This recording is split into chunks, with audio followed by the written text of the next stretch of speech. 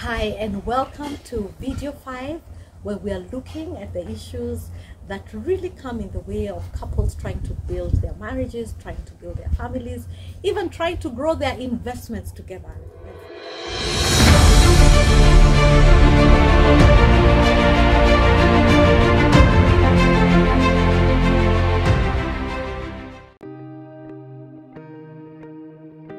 As couples and money we we you know our aim is to help couples grow in their finances grow in their wealth in a godly way you know and, and for people to use their wealth in a way that glorifies god but there are issues that normally come and trip up couples and sabotage the very best of their purposes.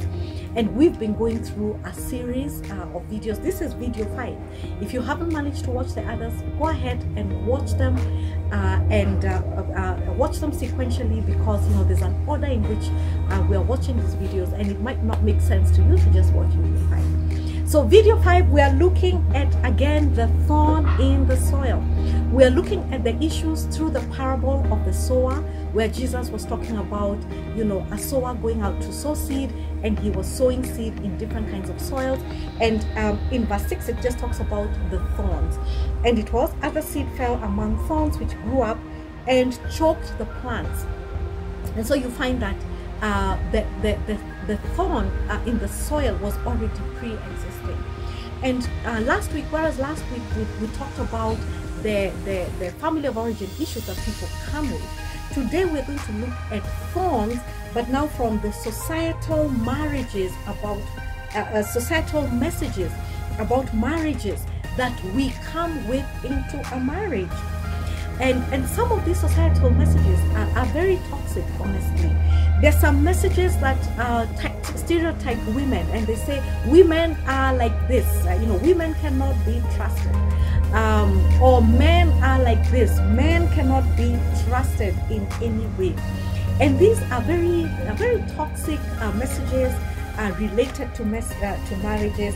Their judgmental me- messages may be that we pick along the way which we kind of just put on our spouse, uh, which we project on our spouse.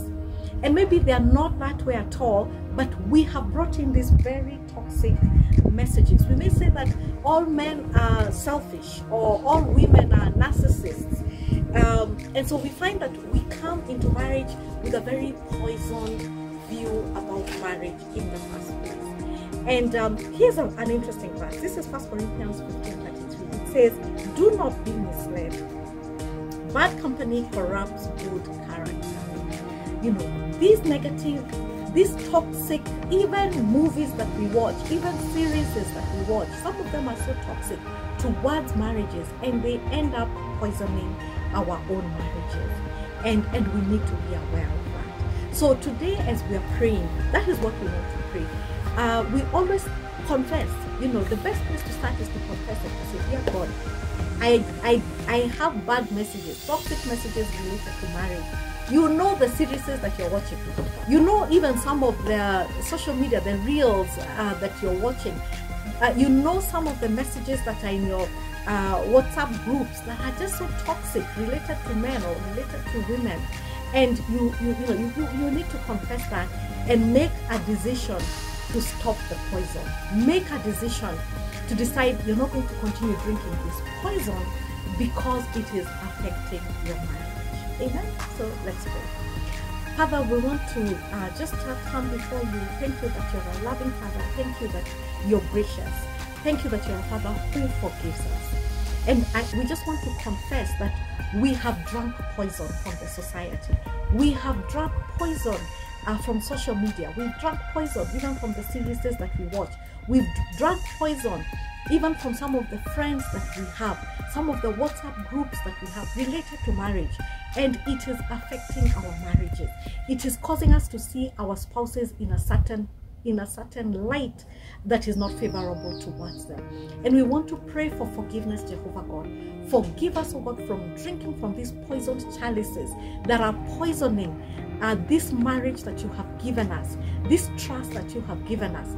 Forgive us, oh God, for doing that. And uh, Father, we also do want to commit to stop, just to stop, to stop taking the poison because it is not doing our marriage any good.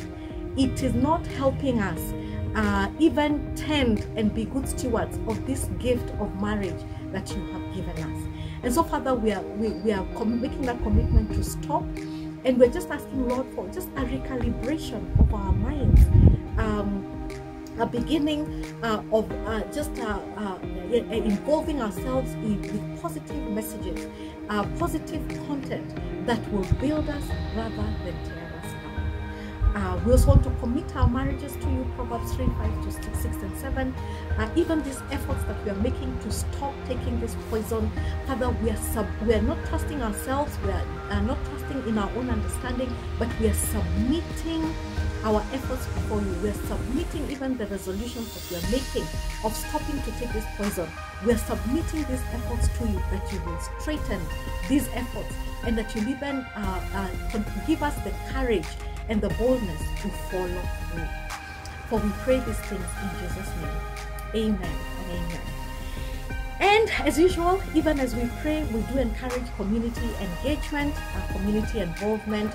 Maybe we can write down what are some of the negative uh, messages uh, that uh, poison our marriages. And we can even just uh, uh, write over there, you, what have you done to stop? Or what can you tell somebody to stop? Sometimes it's very difficult. You know, you're telling someone, get out of that WhatsApp group. Stop watching that um, those series. It can sound like, you know, cutting off, gouging out your right eye. But that's what Jesus said. Whatever it is that's causing you to sin, stop. Just stop. So let's just write encouraging messages. Maybe some of you have stopped. Write what that experience was like, uh, and and just continue to encourage one another in the community. So until next time, see you.